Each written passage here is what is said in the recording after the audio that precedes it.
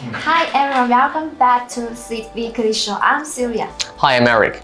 Mm, what do we have today? The first one is about the computer case, this acrylic lid. What's wrong with it?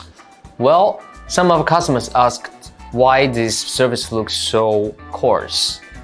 It does look a little bit rough. Yeah, but this is because of the protector. You can just rip it off. The original texture is smooth and neat. It does feel much better. Yeah, sure. Okay, the next one is Grove 16-bit high precision ADC. We made one for Raspberry Pi in head format, using the same chip ADS1115. But many people want a more generous version, so we made one with Grove header. How does ADC work? The full name of ADC is Analog to Digital Converter. I think the name explains a lot. It reads analog signals and convert them to digital ones, then output them to the main controller. I think most development boards can read analog signal directly from the sensor, not like a Raspberry Pi. Yeah, like Arduino. But the onboard ADC is not precise enough for some users. A typical onboard Arduino ADC is 10-bit, which means it divides max voltage read, which is 5 volt, into 2 to the power of 10, which is 1023 steps. That's why when you call analog read function in Arduino IDE, the data returned is between 0 to 1023. But uh, this one is 16-bit. Yeah, it means the resolution of the ADC is 64 times higher than Arduino onboard ADC. Let me show you how precise the, the data can be. Okay, uh, today I'm using Wio Terminal as the main controller.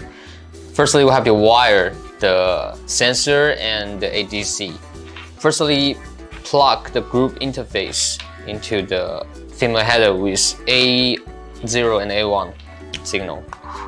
And then you have to plug the Grove cable into the output pin. Then connect it to the A0 port of the Wio Terminal.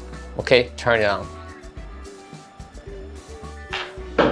The sensor I'm using is a uh, rot rotary angle sensor.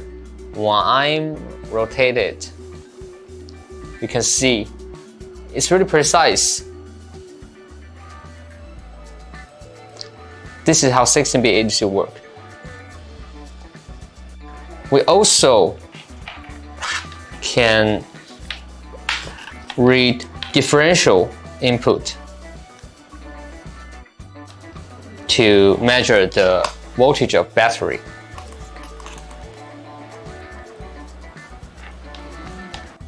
Firstly, connect the jumper. Now let's try the LiPo. So here you don't have to mind whether you are connecting positive, negative, anode right because you can read positive or negative value. So now it's negative 3.7, which is the standard voltage of a LiPo battery. Now we can connect it to revert the pin, and now it's positive value, also 3.7. Wow, amazing! Yeah, this will be an ideal choice if you have to deal with high precision analog signals. Absolutely. What's next? Grove analog microphone. Can this is record? It's so tiny. Why not? Wow, it's so cute. Yeah, and the core module we use is the same on the speaker. The quality of the recording is just amazing. It also works with very low power consumption, just like the speaker. Then it would be great to put it on edge device. Absolutely. Okay, what else do we have? This is an adapter cable for Wio Terminal. What's this for? To allow Wio Terminal to use Pi hat. Isn't this 40-pin header compatible with Pi? Yes, it is. But when we were designing Wio Terminal, we want to make it a peripheral device for Raspberry Pi. And so when you connect the 40-pin header directly with a Pi header like this, you have to revert TX and RX pin so you can control the Pi head. It's, it will be troublesome, so we made a cable, adapter cable for you to do it.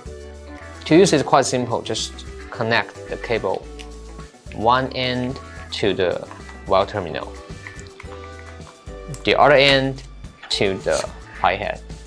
Then you won't have to do any other configuration. You can use directly like Raspberry Pi. You can also stack another Pi head on top of it. Wow, that would be nice. Yeah, sure. And one more thing, a PCIe to SATA extension board. It used on Odyssey. Yeah, it helps you to expand your storage easily on Odyssey. As many are using Odyssey as a NAS server, they definitely need more SATA ports to build RAID Avenue in order to keep their data safe. So we made a uh, SATA extension board with five ports and M.2 socket. Mm, do we have something to hold your hard disk? It seems heavy. Well, if you are going to use a 3.5 inch hard HDD, it definitely needs something to support. So we are designing and testing a stand which will support four this four 3.5 inch hard disk. Mm, when will it be published? Can't tell, but it will come soon. Okay, this is everything we have today. Thank you all. Bye bye. Bye bye. See you next week.